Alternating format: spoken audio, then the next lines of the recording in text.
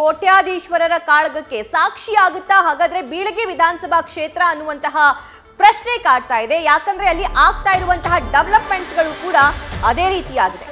ಕೋಟ್ಯಾಧೀಶ್ವರರ ಕಾಳಗಕ್ಕೆ ಸಾಕ್ಷಿಯಾಗುತ್ತಾ ಹಾಗಾದ್ರೆ ಬೀಳಗಿ ವಿಧಾನಸಭಾ ಕ್ಷೇತ್ರ ಮಾಜಿ ಶಾಸಕ ಜೆ ಟಿ ಪಾಟೀಲ್ಗೆ ಟಿಕೆಟ್ ಕೈ ತಪ್ಪುವ ಭೀತಿ ಸದ್ಯಕ್ಕೆ ಎದುರಾಗ್ಬಿಟ್ಟಿದೆ.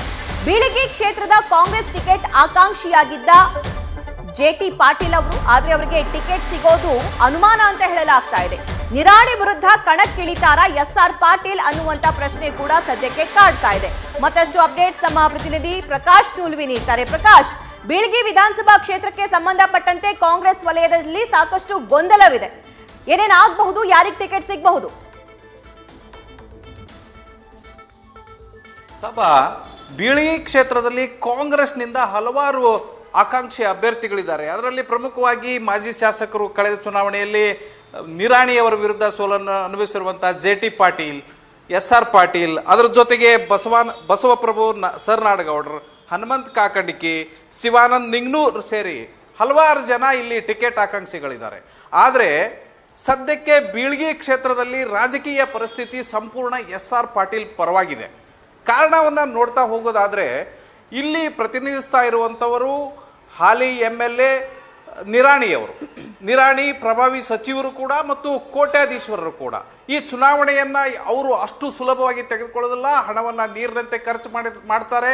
ಈಗಾಗಲೇ ಕ್ಷೇತ್ರದಲ್ಲಿ ಮುರುಗೇಶ್ ನಿರಾಣಿಯವರ ಅಬ್ಬರ ಆರಂಭವಾಗಿದೆ.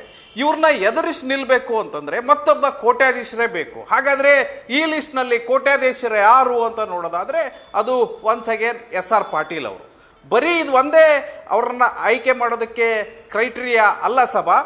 ಈ ಹಿಂದೆ ಅವರು ವಿಧಾನ ಪರಿಷತ್ ನಾಯಕರಾದಂಥ ಸಂದರ್ಭದಲ್ಲಿ ಅವರಿಗೆ ಹಾಲಿ ನಾಯಕರಿದ್ದಂಥ ಸಂದರ್ಭದಲ್ಲೇ ಅವರಿಗೆ ಟಿಕೆಟ್ ಕೈ ತಪ್ಪಿತ್ತು.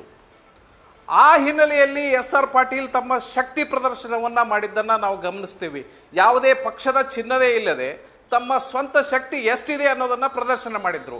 ಇವೆಲ್ಲ ಕಾರಣ, ಅದರ ಜೊತೆಗೆ ಇಡೀ ಕ್ಷೇತ್ರದಲ್ಲಿ ಅವರ ಪರವಾದಂಥ ಅಲೆ ಇದೆ, ಅವರಿಗೆ ಅನುಕಂಪ ಇದೆ, ಇಡೀ ಕ್ಷೇತ್ರವನ್ನು ರಾಜಕೀಯ ಸ್ಥಿತಿಯನ್ನು ಬದಲು ಮಾಡುವಂಥ ಶಕ್ತಿ ಇದೆ. ಈ ಕಾರಣಕ್ಕಾಗಿ ಎಸ್ ಆರ್ ಪಾಟೀಲ್ ಈ ಸಾರಿ ಟಿಕೆಟ್ ತೆಗೆದುಕೊಂಡೇ ತೆಗೆದುಕೊಳ್ತಾರೆ ಅನ್ನುವಂಥ ಒಂದು ಚರ್ಚೆ ಇಡೀ ಕ್ಷೇತ್ರದಲ್ಲಿ ಆರಂಭವಾಗಿದೆ ಸಭಾ. ನ್ಯೂಸ್ ಫಸ್ಟ್ ಪ್ರತಿಕ್ಷಣ ನಿಮ್ಮೊಂದಿಗೆ.